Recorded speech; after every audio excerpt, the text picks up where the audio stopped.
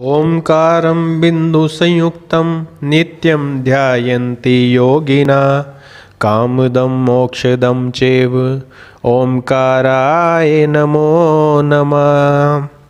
नमस्कार छात्रों, आज हम रघुवंश महाकाव्य का दूसरा श्लोक पढ़ेंगे। रघुवंश महाकाव्य के प्रथम श्लोक में हमने जाना था कि राजा दिलीप वशिष्ठ जी की गाय को वन में चराने के लिए खोलते हैं। इस घटनाक्रम में अगला श्लोक है, आइए देखते हैं। बहुत ही सुंदर श्लोक है और इसमें जो इस उपमा के महाकवि कालिदास धनी माने जाते हैं, उसका बहुत सुंदर उदाहरण यहाँ पर प्रस्तुत किया उन्होंने।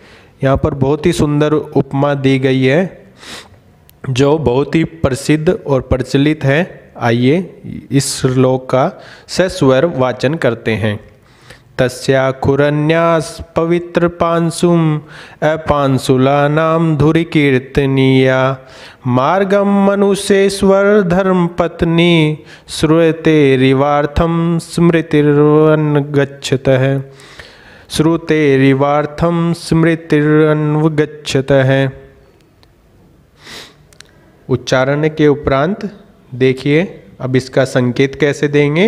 तस्या डैश डैश डैश स्मृतिर अन्वगछत है अब इसका प्रसंग देखते हैं। प्रसंग कैसे करेंगे? प्रस्तुतम पद्यमिदम अस्माकं पाठ्यपुस्तक रघुवंशम नामना ग्रंथात उद्धृतम वर्तते।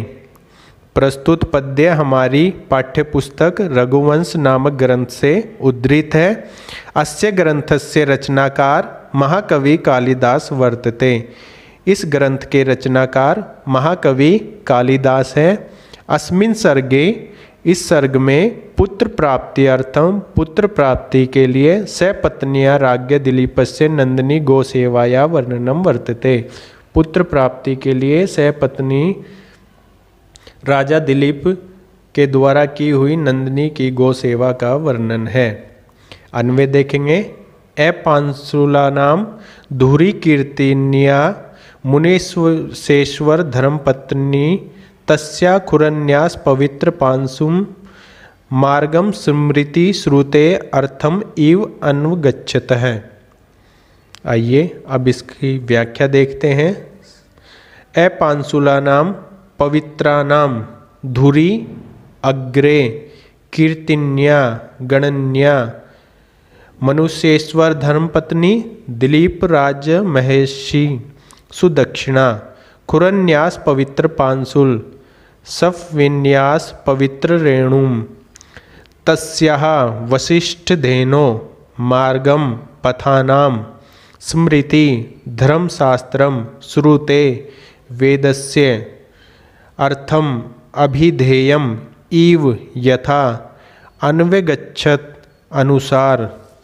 आइए, अब इसका हम अर्थ देख लेते हैं, जो कि अन्वय की सहायता से देखेंगे। ए पांसुला नाम धुरी कीर्तनिया। पवित्र पतिव्रताओं में अग्रगण्य। मनुष्येश्वर धर्मपत्नी, राजा दिलीप की धर्मपत्नी। तस्या तस्या किसके लिए आया है? नंदनी गाय के लिए। उस नंदनी के खुरन्यास पवित्र पांसुम खुरो के रखने से पवित्र जो धूल हो रही है मार्गम, मार्ग में स्मृति, श्रुते अर्थम इव अन्वगच्छते। जिस प्रकार श्रुते कहते हैं, वेदों को। वेदों के अर्थ के पीछे स्मृतियाँ चलती हैं। उसी प्रकार नंदनी गाय के पीछे सुदक्षिणा चलती हुई प्रतीत हो रही है। देखिए कितनी सुंदर उपमा दी है यहाँ पर। एक बार इसका सामान्य अर्थ देख लेते हैं। पतिव्रताओं में अग्रगण्य राजा दिलीप की धर्मपत्नी सुदक्षिणा उस नंदिनी के खुरों के रखने से पवित्र धूलि वाले मार्ग में वेद के अर्थ के पीछे स्मृति के समान चल रही है। धन्यवाद।